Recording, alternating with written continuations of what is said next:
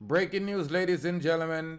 Bloodshed on the southern side of London as three women and a man was knifed to death. The suspect is currently in custody, ladies and gentlemen. Greetings, greetings, and salutations to all nation.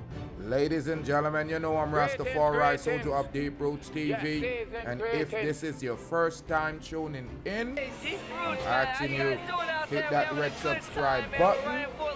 And we're going to have a great relationship, ladies and gentlemen.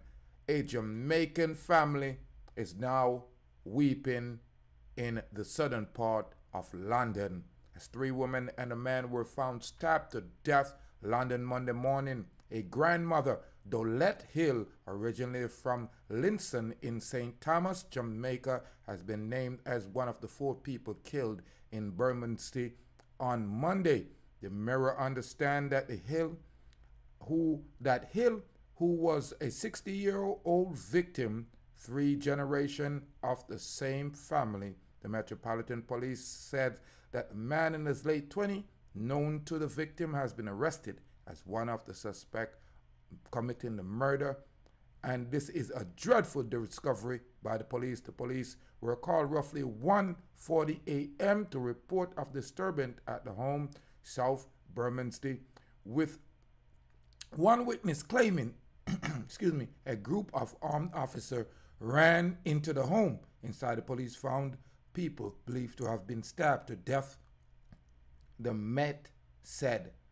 Another witness claimed that they saw police laying down street receiving bodies receiving CPR. Three female victims were in their 30s, 40s, and 60s, and a man who was in his 60s. People claiming to be family members of those killed arrived at the scene shortly before noon. Despite the effort, emergency service, all four persons were pronounced dead at the scene, Scotland Yard said in a statement speaking for the scene. And this afternoon, the Metropolitan Police Commander Collins Wingrove said in an early hour of the morning following the call by a neighbor officers forced entry into a home inside the house they made a dreadful discovery of four people who have been stabbed all four were sadly pronounced dead on the scene a man in his late 20s was arrested at the address on suspicion of murder and in current is currently in custody. At this early stage, we are not looking for any other person. We believe all those involved may have been known to each other. I want to offer my heartfelt condolences to the family and friends of all those concerned. This is deeply shocking incident and we will do everything we can to provide support to everyone affected at this difficult time. A large police presence remained at the scene today where the barriers has been erected to block the road and several forensic tents are in place. An alleged witness has told the police when they see the them jumped out the cars with rifles after seeing the eight police cars as well as three ambulance arrived at the scene there were seven or eight police cars at the ambulance and the ambulance and neighbors told the London newspaper police jumped out with their rifles. We heard them go into there. All of a sudden, they were quiet.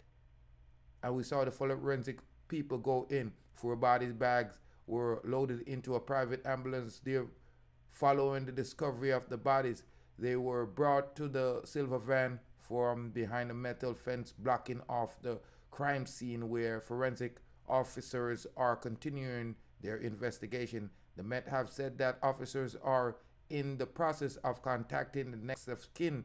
The postmortem examination will be arranged soon. One man told the Mirror what his son, 15, saw in the early hours of the morning. He couldn't see. He could see four police get out of a 4x4 fully armed with a machine gun and he explained to his dad he thought they had shot someone and they were given treatment to them by an ambulance. But obviously, this morning we heard there had been a stabbing.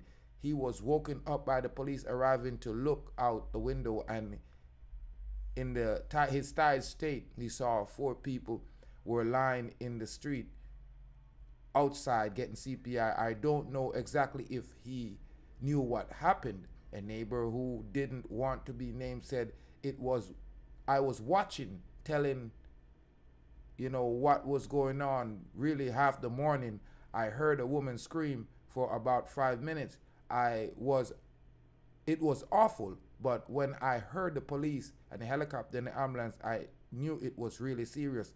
I saw about 8 or 9 police cars all were armed come out and surround the area.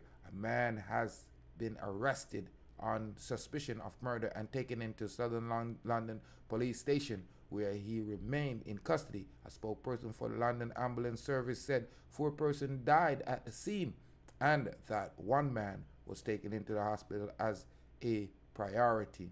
They would not confirm whether the person hospitalized was the same one as the man arrested, but did say only five persons were found in the house. This story first appeared in the mirror.com at UK online and also it was edited in the mirror. Ladies and gentlemen, this is a tragic situation because this appears to be a Jamaican family, you know, that's involved in such of a hideous, horrendous situation. And it appears that, you know, four are dead, three are women. It appears it's the grandmother and her two daughters and her husband. And it appears that the gentleman or the man that been taken into custody in his late 20s knew all these people. Ladies and gentlemen, leave your comment if you know anything about this case. I'm Rastafari Soldier, sending my condolences to all the families and everyone that has been affected in this whole situation. It's the sad situation again. See it there. The Americans everywhere we go. We kill with family, we kill with friend. More life, more joy, more happiness, ladies and gentlemen. Hit that red subscribe button if you have not subscribed us yet. I'm Rastafari Soldier. More life. Greetings, greetings. Yes, season greetings. Hey, Deep Roots, man. How you guys doing out there? We having a good time, man. We're running